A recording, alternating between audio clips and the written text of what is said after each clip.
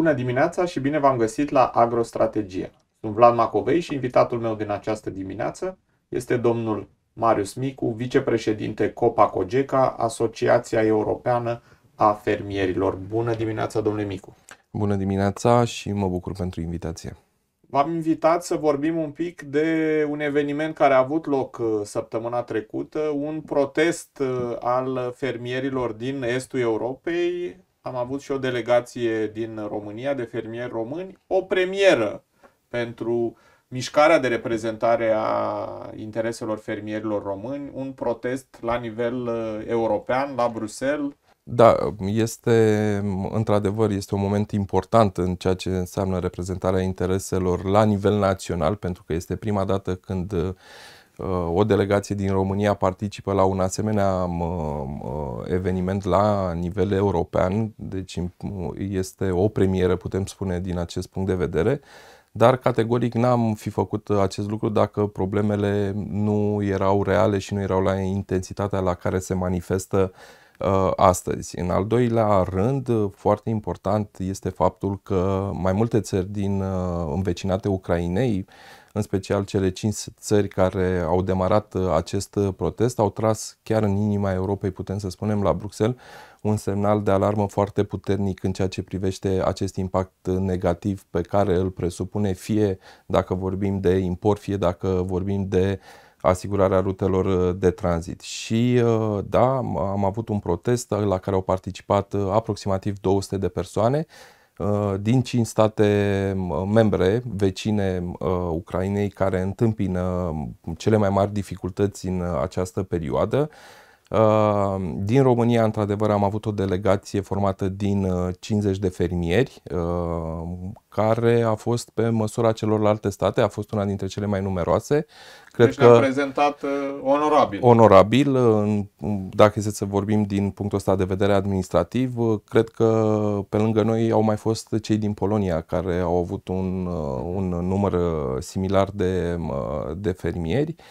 Uh, fermierii, delegația din România a venit din partea Alianței pentru Agricultură și Cooperare, care este formată, după cum bine știm, din cele patru organizații reprezentative la nivel național și anume Federația Națională ProAgro, la par UNCSV, dar și Forța Fermierilor. Uh, un protest care s-a uh, uh, sfârșit cu rezultate, să spun, uh, cel puțin prin faptul că comisarul ne-a invitat după protest uh, printr-o delegație restrânsă, ne-a invitat la discuții și uh, discuții care au durat două ore, două ore jumătate, ceea ce reflectă faptul că există o aplicare foarte serioasă din partea atât a domnului comisar, dar cât și a celorlalte instituții, pentru că a venit cu, la rândul său cu o echipă, inclusiv de la Digi Agri, în care am discutat toate aceste lucruri și se pare că s-au discutat cel puțin trei elemente interesante pentru toți participanții la,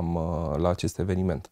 România, fermierii români susțin Ucraina în acest demers Uh, toată chestiunea este să-l susținem în mod echitabil, altfel, astfel încât să nu dăunăm foarte mult fermierilor uh, și până la urmă sectorului economic, pentru că noi suntem actori în economia uh, românească și vrem niște condiții clare, dar asta nu presupune că faptul că nu facem tot ceea ce putem pe orice cale instituțională de a ajuta uh, Ucraina. De altfel și din solicitările noastre reiese faptul că suntem de acord să ajutăm Ucraina într-o măsură în care uh, să nu prejudicieze Uh, foarte mult economiile, uh, veniturile fermierilor, dar aici nu este vorba că uh, fermierii vor avea venituri și este vorba de a exista și de existența lor, astfel încât tot ce au investit în terenul agricol să poată fi recuperat pentru a începe un nou an agricol. Protestul a fost unul liniștit în care s-au exprimat problemele membrilor noștri, prin care s-a dorit să se realizeze și ceea ce s-a întâmplat, un dialog cu instituțiile europene pentru că poate uneori gândim că reprezentarea la nivel instituțional uneori poate nu este suficientă, suficientă, dar asta poate fi doar din punctul nostru de vedere, astfel încât că printr-un astfel de mecanism ne asigurăm că ce avem noi de spus, actorii din sectorul privat, prin reprezentarea intereselor, ajunge la decidentul european.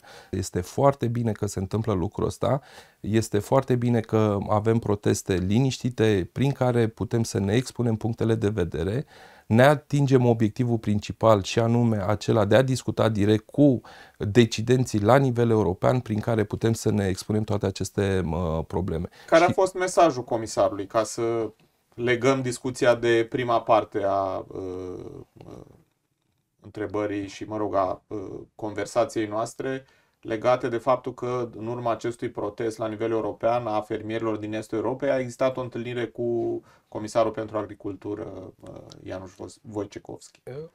Într-adevăr, discuțiile au durat uh, o perioadă destul de lungă, iar feedback-ul de la Bruxelles a fost că toată lumea s-a mirat de pe timpul pe care l-am uh, petrecut în această discuție și anume cele două, aproximativ două ore jumătate și discuțiile au început prin poziția comisarului și a comisiei față de situație Uh, printr-o prezentare pe care o cunoșteam și în uh, toate detaliile ni s-au expus uh, câteva elemente foarte importante și anume faptul că deciziile se iau pe bază de date, deci categoric orice decizie care s-ar lua Uh, ar trebui să fie fundamentată de date și eu cred că este un lucru destul de important și la nivel național să înțelegem că... Să ne pregătim să avem, avem o abordare pragmatică, nu emoțională. Nu? Exact, pragmatică și să documentăm tot ceea ce înseamnă acest aspect pe care îl definim import, fie de tranzit, pentru a putea justifica în raport Sigur. cu instituțiile europene toate aceste elemente pentru a beneficia de acțiuni, în primul rând, după care poate și de ajutoare financiare. Uh, ni s-au uh, și s-au recunoscut uh, pe o într-o anumită măsură, zic eu, pierderile pe care fermierii le-au, le-au, um, le-au suportat în toată această perioadă. Estimarea comisiei și din mesajul comisarului a fost că România a pierdut și citez peste un miliard de euro. Nu am fost în totalitate de acord, dar mă rog, e un semn că se recunoaște pierderea. Un alt element care l-a trasat uh, domnul comisar a fost în ceea ce privește tranzitul și a spus faptul că România este țara care asigură cel mai mare tranzit, a reiterat acest lucru, ceea ce pentru noi este foarte uh, ni, importantă. Ni se recunoaște rolul exact pentru că important se... în, în a gestiona acest sprijin uh, pentru Ucraina. Nu? Exact. Un alt element care a reieșit și uh, zic eu că ar trebui să-l apreciem pozitiv a fost faptul că a apreciat faptul că am fost dintre cele cinci țări, am fost țara care totuși uh, trecând prin această situație grea, nu am uh, avut măsuri prin care să limităm în vreun fel importul în comparație cu celelalte patru... Am avut acele măsuri unilaterale, adică am așteptat o decizie a Exact. Comis. Faptul că am jucat Deși fermierii români au fost destul de nemulțumiți de a, cel puțin în perioada aceea de Uh, incertitudine, să-i zicem. Uh, total. Dar până la urmă România a jucat corect și inteligent în această Corect situație. și acest lucru a fost scos în evidență și în opoziție a fost scos faptul uh, că Ungaria continuă în acest moment să aibă măsuri care limitează importurile, adică nu a respectat înțelegerea, fapt care influențează foarte mult decizia fie a viitoarelor măsuri, fie acel ajutor din pachetul 2. E adică blocat se... în acest moment din cauza uh, faptului că Ungaria nu a renunțat la măsurile unilaterale. Uh, domnul comisar a exprimat că este unul dintre motivele uh, blocajului, acel de-al doilea fiind opoziția celor 12 state membre, dar ne-a asigurat că va face toate eforturile necesare astfel încât acest sprijin pachet 2 Uh, să fie deblocat, fie prin convingerea statelor membre, celor 12 state membre și să se găsească o soluție în ceea ce privește Ungaria pentru a-și, a, de fapt, a-și adapta politica națională conform cu înțelegerea. Există practic două, cum să spun eu, uh, două zone care se raportează diferit la, la cerealele din Ucraina. Cum găsim iarăși echilibru uh, just? Da, aici... La nivel european vorbim. Există și această teorie în piață. Eu aș fi cumva oarecum rezervat în această teorie, pentru că trebuie... Bun, da, scrisoarea celor 12 miniștri care susțin că nu ar trebui să existe nicio piedică în calea liberei circulații a mărfurilor agricole din Ucraina există, e un fapt. Uh. Și care nu vor ca țările din estul Europei să fie sprijinite da, compensate da. financiar, dacă vreți, pentru dezechilibrele. Total de acord, dar această scrisoare, din punctul meu de vedere, ascunde faptul că, de fapt, ei nu sunt de acord cu accesarea rezervei uh, de rez, uh, rezerva din politica agricolă comună, deci accesarea celor 100 de milioane, de fapt. Că, sunt bani care ei consideră că li se cuvine și lor pentru alte măsuri, nu? Uh, exact, pentru că în timp în uh, situații dificile, și anume secetă în Spania, inundațiile care, sunt în, care au fost de fapt în Italia, dar haideți să privim lucrurile din alt punct de vedere. Mai rămân încă 260, aproximativ 260 de milioane și este categoric că aceste 260 de milioane probabil vor fi elementul de negociere să meargă către restul țărilor, mai puțin către cele A, 5 deci e doar o, cum să spun, un, un joc de negociere și de poziționare pentru ca fiecare țară să obțină cât mai mult din, acea situa- eu, din această situație. Eu nu, exact, dar eu nu spun că nu îi interesează și mă, producția, dar nu cred că este elementul esențial în uh, discuție. Înțeles. În altă ordine de Pe idei. de altă parte, cereale din Ucraina au rămas în vestul Europei în cantități mari. Dar noi nu avem o problemă să rămână cerealele și eu cred că vom găsi uh, soluțiile prin care aceste importuri, pentru că nu mai vorbim de tranzit în momentul ăsta, vorbim de import clar, acest import sau produsele care ar intra teoretic um, pe această cale a importului în România să meargă către statele respective, pentru că până la, noi, până la urmă interesul nostru este ca acest, aceste cantități provenite din import să nu rămână în, în România. Nu cred că avem o problemă ca ele să tranziteze pe această cale a importului România. România. Apoi o altă cale. Noi nu suntem în spațiu Schengen. Uh, un element foarte important, adică to- tot acest tranzit nu va fi prin România sau uh-huh. cu Bulgaria către Europa, va fi prin Polonia uh, acest, uh, acest element. Un alt lucru esențial care l-am expus și în discuția cu domnul comisar a fost faptul că acest sau această expresie peste un miliard nu este o cifră corectă pentru România. Bun. Discutăm despre contextul actual al pieței agricole din Uniunea Europeană, despre cât de afectați sunt fermierii români, despre solicitările acestora după o scurtă pauză de publicitate. Am revenit la Agrostrategia împreună cu domnul Marius Micu, vicepreședinte Copa Cogeca, Asociația Europeană a Fermierilor.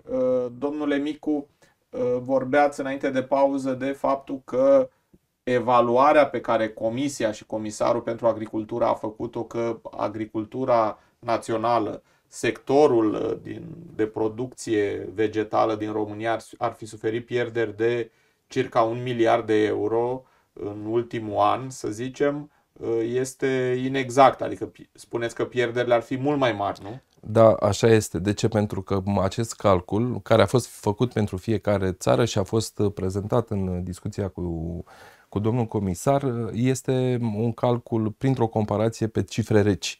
De ce spun lucrul acesta? Este vorba de comparația cât am importat până la o anumită dată și cât am importat după o anumită dată, cât am mers uh, către export, cât n-am mai exportat noi, ceea ce înseamnă că nu reflectă toate cauzele uh, impactului negativ pe care îl produce această situație dificilă. Și evaluarea Precum, dumneavoastră care ar fi în termen de sumă? Uh, îmi este greu să fac o evaluare uh, pragmatică în acest, uh, în acest Dar moment. este acel miliard? Pentru că nu am toate datele și n-aș vrea să Sigur. cad într-o, în, uh, într-o greșeală comună de a arunca o cifră, dar pot estima es, uh, estimativ faptul că este uh, peste 3 miliarde în, uh, în acest moment. De ce totuși spun acest lucru? Pentru că în această analiză nu s-a luat în calcul faptul că costurile în tot ceea ce înseamnă importurile nu au fost luate în considerare. A fost o analiză decât pe import-export, în, de unde a rezultat acest miliard de euro. Nu a fost luat în considerare scăderea prețurilor, pentru că avem un deficit. Gândiți-vă de anul trecut până în prezent, avem uh, o scădere de la 1,5 la 1 leu, care se va accentua probabil uh, în apropierea recoltei, deci avem o scădere de peste 50% a prețului care nu a fost uh, cuantificată și sunt foarte multe elemente. Un alt element care n-a fost și nu va fi cuantificat este faptul că noi nu am putut exporta, am produs cu niște costuri mari, dar nu ne putem recupera nici investiția pentru că calea noastră de export, portul, a fost blocat și probabil din nou va fi blocat. Deci toate aceste elemente elemente și sunt multe altele, n-au fost luate în considerare în acest calcul. Ce vreau să spun este că am explicat domnului uh, uh, comisar faptul că personal în această discuție că apreciem că s-a lansat o cifră, adică în ceea ce presune impactul, adică avem uh, o cifră pe care discutăm numai că i-am atras atenția să ne uităm asupra măsurilor pe care le-a luat Comisia, pentru că acest deficit de un miliard, fie el și evaluat la un miliard, de unde vine? Din măsurile Comisiei până la urmă, uh-huh. prin deciziile pe care instituțiile europene. Și atunci i-am spus în felul următor, ok, uh, Comisia a luat niște decizii, pentru România s-au reflectat în peste un miliard, după cum ați spus, în Polonia peste 1,8 miliarde sau în fiecare țară un cuantum respectiv. Dar haideți să vedem cu ce a venit Comisia să creeze această balanță, care au fost măsurile. Și atunci am pus pe masa discuțiilor cel puțin două măsuri care s-au întâmplat până la momentul respectiv, nu vorbim de cele care sunt în uh, da. propunere. Da. Și anume faptul că am primit un sprijin, primit un primul pachet de sprijin care se cuantifică din sprijin european la aproximativ 10 milioane de euro. Apoi i-am explicat că 10 milioane înseamnă doar 1% din impactul pe care l-a estimat și este prea puțin, chiar dacă avem uh, posibilitatea... Din propria estimare a Comisiei. Din propria adică chiar esti... și dacă acceptăm estimarea Comisiei, tot e un sprijin total insuficient. Exact, am discutat pe cifrele care au fost reale la masă. Da. Un miliard versus 10 milioane înseamnă 1%. După care o altă măsură o, pe care a luat-o Comisia Europeană a fost uh, într-adevăr uh, uh, limitarea temporară a celor patru produse până la data de 5 iunie. Dar i-am Tranzitul fiind permis, dar uh, nu și rămânerea mărfii respective pe piața din România. Exact. Și, exact. Și atunci i-am adus la cunoștință și din uh, mimică și a delegației am înțeles că exista o aprobare, faptul că există acele excepții. Ok, noi am, am oprit importul pentru patru produse, dar în, uh, în, uh, în decizia care permite să se întâmple acest lucru, există excepția prin care nu este valabil uh, această stopare a importurilor pentru contractele semnate anterior. I-am adus acest element la cunoștință. Contractele respective pot fi actualizate. Da, pentru că i-am explicat domnului comisar în că nu putem contract... verifica vreodată exact. antedatarea sau momentul în care a fost semnat un contract sau un, și un semnal că adițional similară în toate celelalte țări din Estul Europei. Uh, exact. Și atunci i-am explicat cel puțin două măsuri care au, nu au impactul cel puțin pe care ni l-a dorit. Și anume că am beneficiat de doar 1% versus pierderile pe care le-am, uh, le-am suferit și că avem o măsură care este mai mult declarativă și nu pragmatică în ceea ce privește limitarea. De, de aceea solicitările noastre principale în discuție, care uh, s-au transpus și în partea de concluzii, au fost faptul că vrem să prelungim uh, interzicerea aceasta temporară până cel puțin până la sfârșitul anului uh, dar aceasta este corelată cu aprobarea uh, exceptării comerțului liber cu Ucraina, ceea ce s-a întâmplat, s-a întâmplat deja, ulterior. Da. Comisarul ne-a explicat din punct de vedere juridic pentru că trebuie să se întâmple această da. decizie da. ca să se poată lua decizia Dar continuării. Uh, informarea lui a fost că mai degrabă va, se va extinde această exceptare, nu până la sfârșitul anului. Da, adică este una din soluțiile propuse a fost că va continua să avem uh, uh, interzicerea importurilor pentru cele patru produse și după data de 5 iunie, dar um, juridic trebuia să ia decizia să se prelungească acordul de liber schimb. Acordul de liber schimb ca să se poată să ia această decizie, lucru care s-a întâmplat. Uh, totodată a promis că o să reflecteze foarte mult asupra excepțiilor, să nu mai poată fi prevăzute în viitoarea decizie ca să nu mai întâmpinăm uh, acea situație ca până în prezent. O altă măsură pe care am solicitat-o a fost uh, faptul uh, să se asigure printr-un, printr-o decizie clară a Comisiei Europene un regulament prin care să se facă tranzitul produselor. Adică să nu mai avem uh, discuții la nivelul fiecărui stat membru, că unii fac așa, alții fac așa da, și atunci... o procedură unitară. Și să avem o procedură unitară impusă de Comisia Europeană cu echipamente de monitorizare să contorizeze toate... Mă, Ca să fie toată lumea liniștită. Să zicem, să exact. Adică să fie aceleași reguli pentru toți. Da, pentru că discuția și decizia pe, prin care se asigură aceste culoare de tranzit a fost că ele vor tranzita fără verificări, fără măsuri, ne recomandă la nivel de guvern, este doar recomandare cum să facem uh, lucrul ăsta, adică să nu blocăm punctele vamale și fiecare guvern și-a luat uh, propriile decizii care nu s-au reflectat foarte bine în situația negativă. Și atunci eu, noi am considerat că este foarte bine să fie reglementat la nivel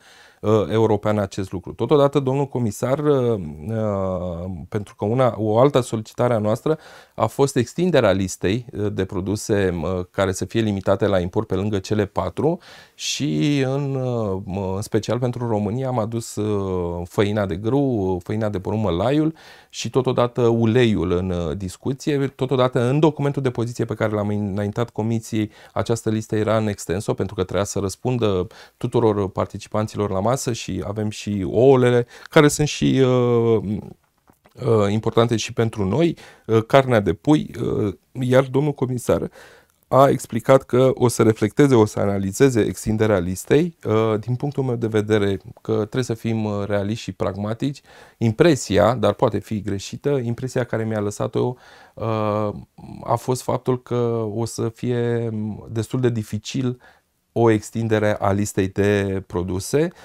A dat și o explicație în sensul ăsta aici care, din punctul meu de vedere, a fost destul de subiectivă, pentru că a făcut referire la Polonia a spus că cel mai mare jucător în piața mondială uh, pe produse agroalimentare este Uniunea Europeană, iar în Uniunea Europeană uh, pe locul 3 se află Polonia, ceea ce înseamnă că poate să impacteze însuși Polonia. Uh-huh. Și de asta spun că a fost totuși subiectiv. Și nu în ultimul rând, uh, un alt aspect pe care l-am discutat pe lângă cele amintite a fost pachetul de sprijin mic, uh, insuficient, uh, dar trebuie să avem o discuție, să fie avut o discuție reală.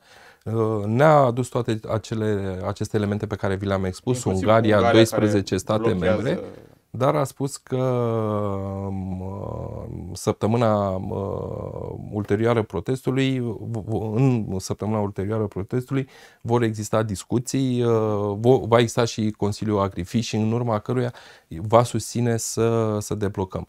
Dar aș mai avea totuși un element uh, important, pentru că nu a fost discutat la nivel național. Uh, s-au consumat 56 de milioane de euro ipotetic să spunem că vom primi și eu cred, uh, am speranțe că vom primi și cel de 30 de milioane. 30 la nivel european sunt 100. Uh-huh. 100 de milioane, sunt 156. Din Pentru rez... statele din estul Europei. Exact. Uh, cred că se va accesa și restul din rezervă, uh-huh. aproximativ 260 de milioane. După care vom avea o mare problemă. De ce? Pentru că consumându-se această rezervă, ea trebuie imediat pusă la loc.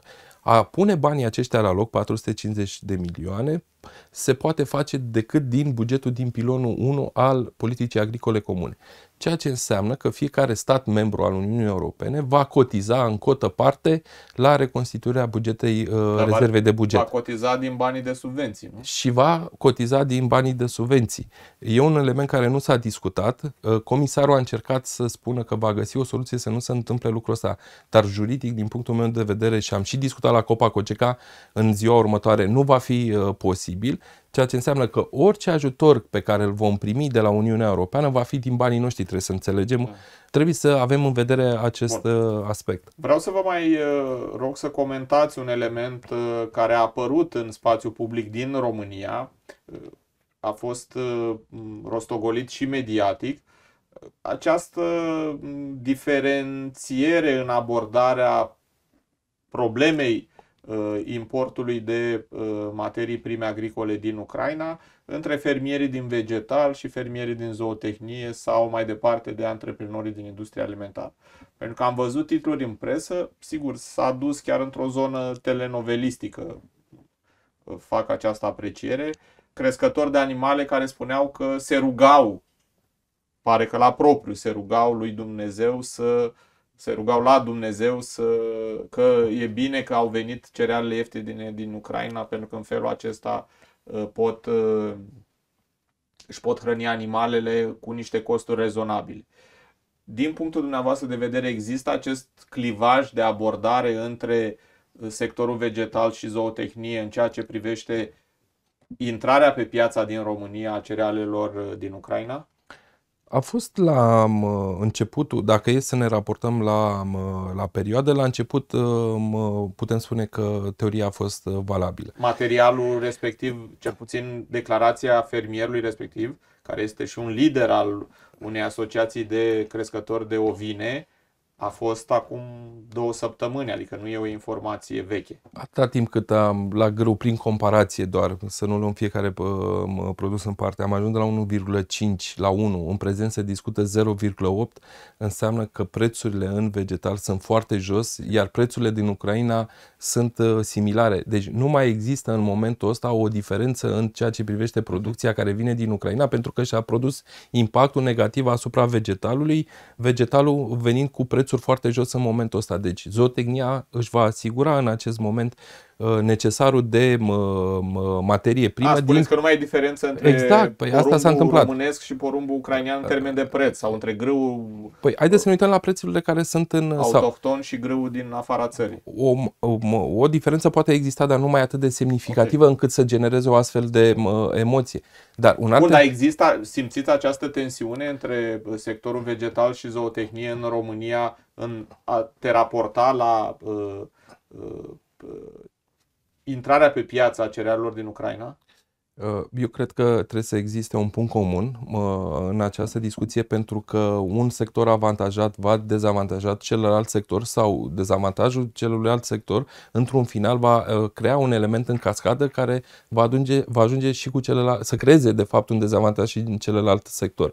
Uh, apoi, în altă ordine de idei, nu importurile au fost problema între vegetal și zootehnic, ci scăpările din tranzit să o spunem lucrurilor pe nume. Ceea ce noi trebuie să ne asigurăm că tranzitul acesta trebuie făcut într-un mod corect, astfel încât tot ceea ce intră în România și iese. De ce spun lucrul acesta? Pentru că sunt două chestiuni foarte distincte. În ceea ce privește importul, în primul rând ne asigurăm în ceea ce privește calitatea producției care intră în România. În scăpările din tranzit nu ne mai asigurăm pentru că nu sunt efectuate control. Deci acest element, chiar dacă poate părea în sectorul uh, zootehnic un beneficiu, dar poate să coste foarte mult în ceea ce uh, privește siguranța uh, sanitară, inclusiv a animalelor. Domnule Micu, vă mulțumesc foarte mult pentru informațiile și opiniile transmise. Punem punct acestei ediții Agrostrategia. Vă mulțumesc pentru atenție. Sunt Vlad Macovei și ne vedem luni la orele 10 la o nouă ediție. Toate cele bune!